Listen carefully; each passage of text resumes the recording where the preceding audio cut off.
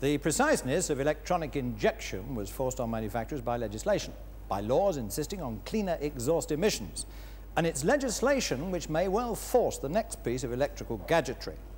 The headlamp washer, a screen jet operating simultaneously with wiper blades. You know yourself how a build-up of road filth can bake itself onto the headlamp glass and cut down the amount of light actually falling on the road. Well, if foreign laws, for instance in America, were to force the issue as they did with distributors, we might well see headlamp washers like this becoming a standard fitting on cars for our own domestic market. Not a bad thing, some people would say. But looking deeper into the crystal ball, we can see things like the headway control system from Lucas, which automatically applies the brakes, keeping vehicles on main roads and motorways a safe distance from each other, even in fog. And the German firm of Bosch are working on this little device. It's an electronic guidance and advice system called Autofahrerlenkungsinformation, or known to his friends as ALI. And it works just like this. There are roadside transmitters, estimated to cost for an installation at about £30,000 per mile, with wires like this set into the road surface. Now, all this is connected up with a central computer. The driver punches out on this the code for his destination. On this, we've got PRE3.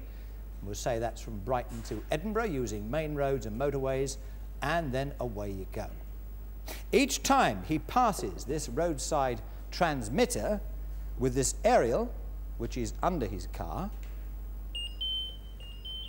the information is thrown up on this display board on the dashboard and is updated all the time. It advises him of the safe speed, whether he should take the next left, right, or go straight on. I mean, for instance, this one here says there's a traffic jam up ahead, so he should turn left and he shouldn't exceed 60 kilometers per hour. It also warns of slippery roads, fog, etc., etc. Now, this system will be undergoing tests in Germany in the Frankfurt area.